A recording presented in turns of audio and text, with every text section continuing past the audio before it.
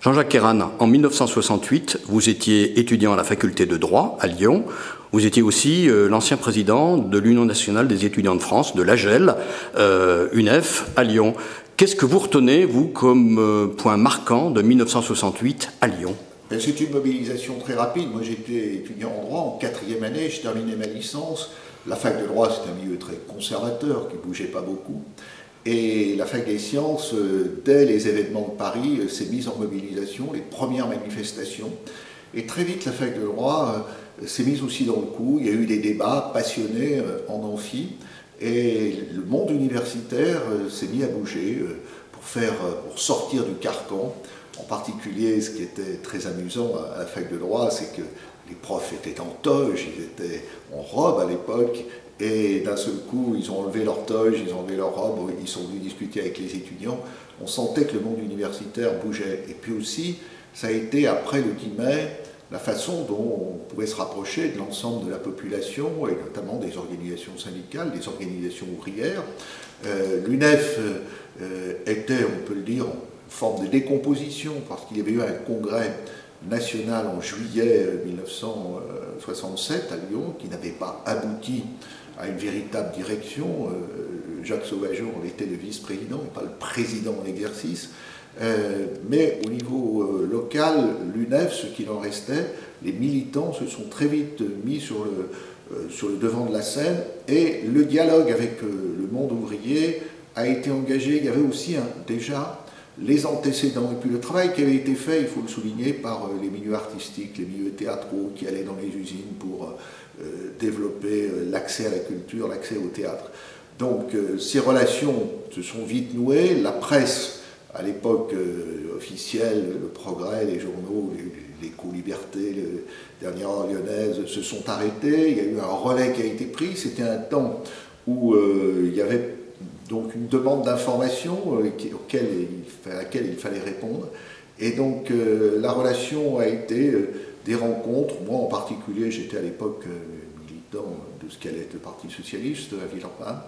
Relations, rencontres avec les organisations syndicales, CGT, CFDT, pour voir quel débouchait au mouvement. Qu'est-ce que vous retenez justement de ce travail avec euh, le milieu syndical, avec euh, la classe ouvrière? Il y avait chez les étudiants, il faut bien dire, une forme de mythologie. Certains rêvaient de refaire 1936 mais euh, c'était d'une certaine façon une pensée euh, euh, révolutionnaire inspirée des époques passées. Je crois que l'apport notamment de la CFDT, de la CGT aussi, ça a été d'ancrer dans les réalités du monde du travail. Il y avait à la fois des demandes qui étaient des demandes salariales, et puis surtout, surtout, ce qui allait déboucher après avec les lois Auroux, une demande de reconnaissance du rôle du syndicat, du rôle du travailleur dans l'entreprise. Et ça, ça rejoignait le mouvement étudiant pour faire que on, était, on voulait être acteur de, de, la transformation sociale dans l'université comme dans l'entreprise.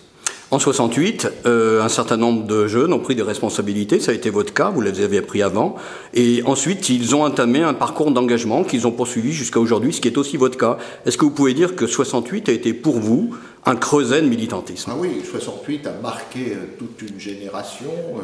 Euh, il y avait deux deux événements importants, c'était 68 et puis l'union de la gauche, il faut quand même bien dire. Euh, la gauche qui était en dehors du pouvoir pendant, euh, depuis toute l'époque du gaullisme. Donc après 68, la phase a été très difficile, la reconstitution du Parti socialiste, la discussion aussi des relations entre partis et syndicats, et là, la CFDT a amené son propre regard, mais c'est vrai que les événements de 68 ont marqué un changement de société, incontestablement, même si le changement politique n'est pas mieux, même pire, ça a été la réaction. Ultime question, est-ce qu'on peut dire que la relation euh, CFDT, PSU, UNEF était une relation assez exceptionnelle à ce moment-là? Oui, en particulier à Lyon, c'était une relation euh, à la fois de, de, grande proximité sur le plan idéologique et puis sur le plan de l'action concrète euh, entre des militants étudiants et puis des militants syndicaux. Je crois que la CFDT avait fait cette ouverture, elle avait compris que l'université était le, creuset aussi des transformations de la société. L'université se démocratisait, Euh, bien sûr, on n'était pas, à la situation actuelle, seulement 10% des, jeunes d'une classe d'âge faisaient des études universitaires, mais cette démocratisation, cette demande aussi d'ouverture de l'université sur la société, c'est ce que portait la CNT.